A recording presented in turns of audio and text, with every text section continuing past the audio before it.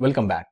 So we'll see how to work on conditional formatting in matrix in Power BI. Conditional formatting is same what we have seen in table in the previous video, but let us see in matrix how does it look like. So I'll just copy the same table. I can right click or same matrix, copy visual, and I can go to that new sheet and paste it here. Now I can go to this format tab and somewhere at the bottom there's a conditional formatting. So I'll click on conditional formatting and you can see we have the same option like sales and I'll select the option data bars. So I'm getting the data bars for each section here. Okay, each region I'm getting here. Now I can sort the column based on ascending or descending order over here. Okay, so okay, I don't have the option here. I can just sort it based on total option here. So based on total, you can see where I'm getting the maximum sales in which region.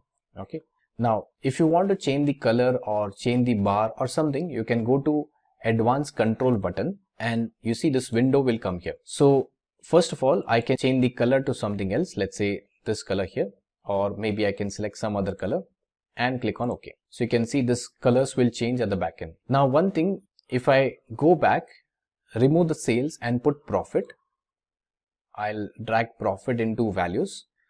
So again, I'll go to this format conditional formatting. For this profit, if I select data bars, now you can see some places the profit is positive or some places there is a negative profit. So if you want to change the color for profit positive and negative, you can see light blue color. It's not visible, but you can see light blue color negative here. So I can click on advanced control.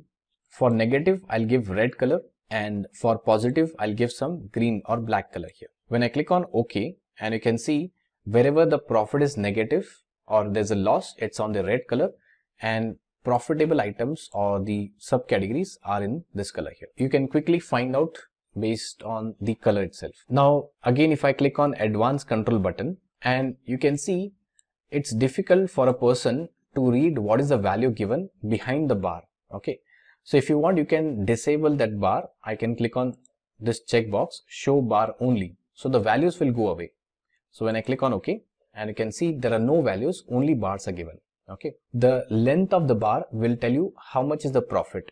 Okay? Is the profit higher or lower? Smaller size of length will have lower profit. And if you do not want you can always click on this data bars same way we have something icons.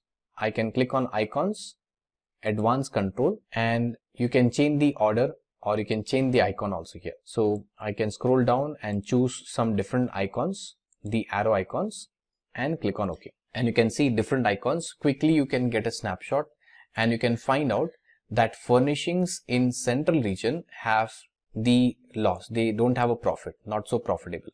So it's a very quick method also known as KPIs in Power BI. These also somewhere known as KPIs, key performance indicators. Okay. So I hope you have understood how to work on conditional formatting in matrix. That's all for this video.